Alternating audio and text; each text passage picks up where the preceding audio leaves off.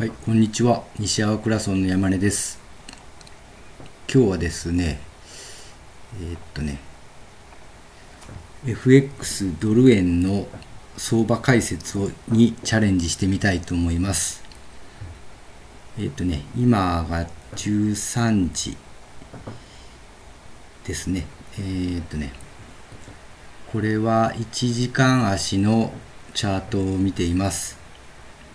今朝の、あのー、速稼塾の塾長のこう放送でもありましたがこうねこう上がってきてこのこの下げの兆しがもう見える見えたのでもうここからこう売りで取っていくっていうねあの放送を見て僕もちょっとその方向でこう様子を見ていましたらで今こう引いてるんですけどこう上昇ウェッジっていうものが僕にはちょっとこう見えるかなって中でこのね下のこのラインをこうちょっと割ってきたのであここでここですねここを割ってきたのでこう売りでいけばいいかなと思ったのとここですね。ここのひげここも上がるんだけど下げられる。ここも上がるんだけどこう下げられてこうだんだんとこうねこう加工していっている感じが見えたので僕もえっ、ー、とねこれが106円の095あたりでこうエントリーをしまして今ねここの間この間が41ピップスぐらいあるので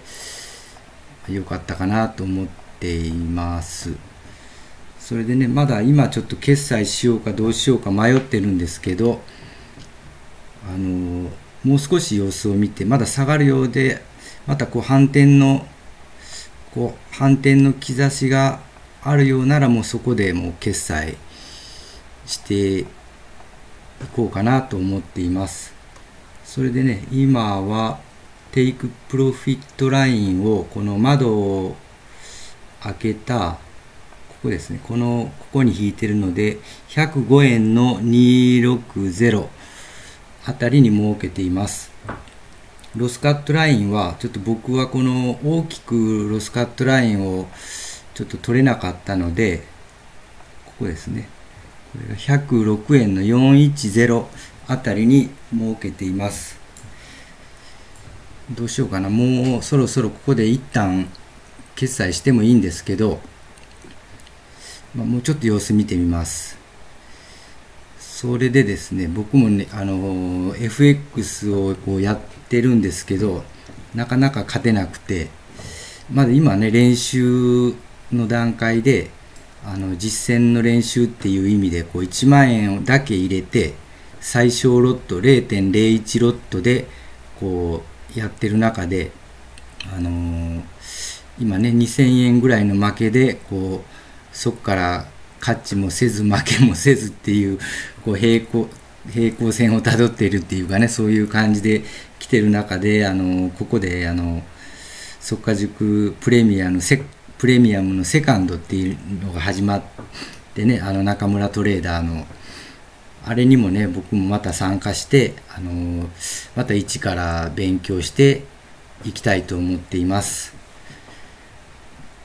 ねいろいろちょっと覚えることもあのありありますしこう経験値もこう積んでいかないとなかなか勝てないのであのそう思いながらあのやっています。まあこんなど田舎ですもね。FX は できるので都会に行かなくてもこのどい中でこうや FX をなんとかこうマスターしようと頑張っていますのであの